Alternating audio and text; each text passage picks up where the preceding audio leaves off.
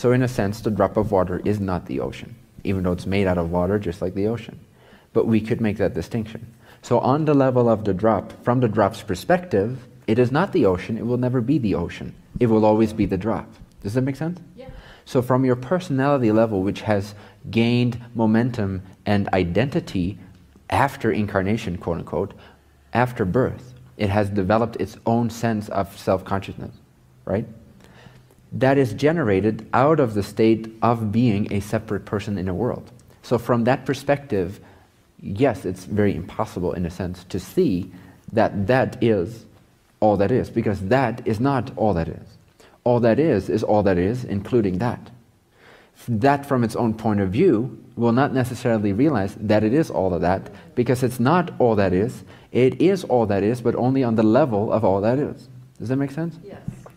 So it is understandable that you don't necessarily feel from your physical based perception that you are all that is. You don't need to feel that all the time per se, or even feel it at, at any time, but at least connect to that idea as often as you can.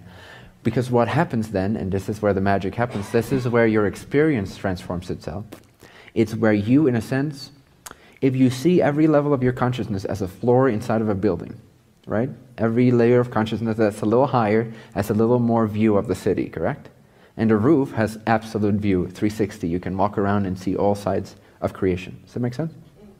So let's say that the personality self is the bottom floor. From the bottom floor, from the personality sense of self, it does not realize all of creation. It does not perceive all of creation. And it doesn't have to because it's generated, it's created to be at that level. It's generated to have a specific slice of all that is as its experience. It's not designed to have all that is as its experience. All that is already has all that is as its experience. It doesn't need a duplicate consciousness level. It already is all that is. So why would you create a duplicate level of that consciousness? So on that level, there's only one consciousness that's aware of all that is. Any level down from that all that is level consciousness, each portion of that consciousness then has its own portion of all that is that it's aware of, as if that is all that there is from its point of view. Does that make sense? So, in a sense, all that there is to you from your point of view is anything you experience at any given moment. That does not mean that there is not more to all that is all that is, but your all that is is your all that is from your perspective, all that is. Does that make sense? Okay. Now, if you see every personality level or every consciousness level as sort of a shell or a, um, something you can enter and exit, like a floor of a building, and let's say you enter the elevator and the elevator represents your actual free agency, your free consciousness being able to withdraw itself from identifying with the personality consciousness and being able to take itself up in frequency, in vibration, in expansion, and then step out at the next floor and see that much more of the city around it. Does that make sense?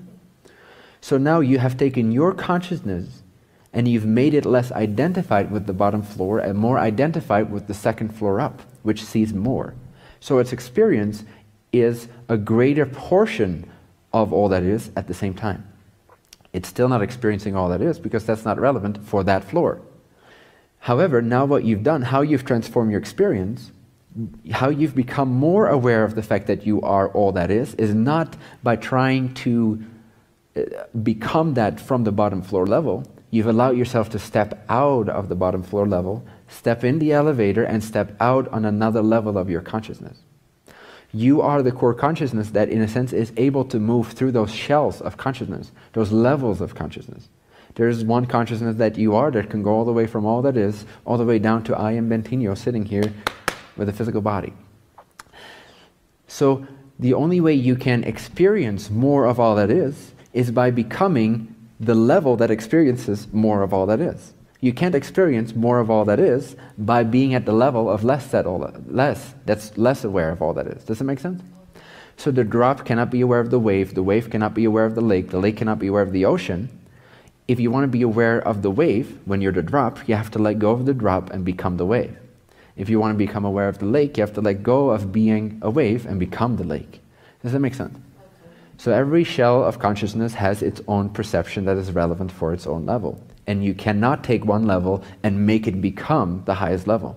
It's not relevant, it's not how it's designed. What you can do is you can step out of one level and enter another level and then become that level of consciousness. And then you see as that level of consciousness sees, and you feel more at one with creation because it's a higher level of consciousness. Does that make sense? Is that more kindergarten? That's totally kindergarten. Yay. Now Awesome. I don't have to reject it at all. I Yes. totally embrace it. Exactly. Isn't that beautiful? Now you don't have to reject being the drop because you realize the drop is part of the wave, the wave is part of the lake, the lake is part of the ocean, and each level has its own set of relevancies. And it's not relevant. The human mind can become a little arrogant sometimes and think that it needs to take the drop and make it the ocean somehow, make that compute. But in an endless, infinite creation and an infinite intelligence, there is room for infinite simultaneity. So the drop can be the drop, all that is can be all that is, and everything in between can be everything that it is in between. And you have the freedom as the free agent, you have the right to move through those levels of consciousness at will. Not saying this will immediately become more available. I mean, it will immediately become more available to you, but you're not going to immediately master this, again, because it's not relevant necessarily even for your level of consciousness to go and do all that. It's not relevant for our level of consciousness to be aware at the Godhead level all the time because we wouldn't, in that sense, be functional. We wouldn't be doing what we created our extension here to be. So, to an extent, you will always be tied to this level, but you have a lot more freedom than you think to surf through those higher levels and integrate them and connect them and make that portal that I was talking about. So that you can download and intuit, and I make a difference between, I state a difference between active experience and intuitive experience. Active experience right now for most of us is that we are here and I'm talking to you and you're listening, right? That is our active experience, our manifest experience. That does not mean we have to invalidate whatever we experience on an imaginative, non physical, intuitive level. That is valid experience too. But it's experience that is active on its own level, but experienced from this level. That's why this feels active and that feels imaginative or intuitive.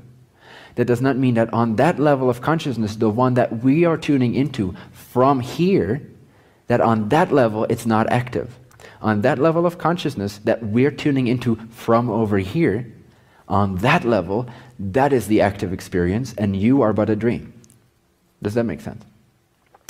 So when we download and intuit more and more of those higher imaginative experiences and we start to validate them instead of delete them and cancel them out and pretend to be unworthy of that, the moment we start dreaming bigger and believing in ourselves, we expand, we expand to the next level, next level, and we actually start to become more of that energy because from our active experience, we became so fond of spending time with our non active imaginative experience that at some point that imaginative experience became so imbued into our active experience that we moved to that place where what previously was imaginative experience now actually is active experience.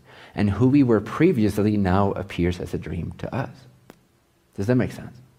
So there's endless, endless flexibility to move through infinite consciousness. You need to dream big if you wish to grow up. This is part of growing up. This is part of your capacity. Everyone has the same depth of capacity. We just need to gain perspective. How do you gain perspective? By growing a pair of balls. Even if you're a woman. Don't have to be physical, can be imaginative. Doesn't have to be active. But you need to have courage. You need to dedicate yourself. You need to want what you want. You need to prioritize who you are above all else. When you do this, you will accelerate, and all this that I'm speaking about will be your active experience, if not intuitive at the very least.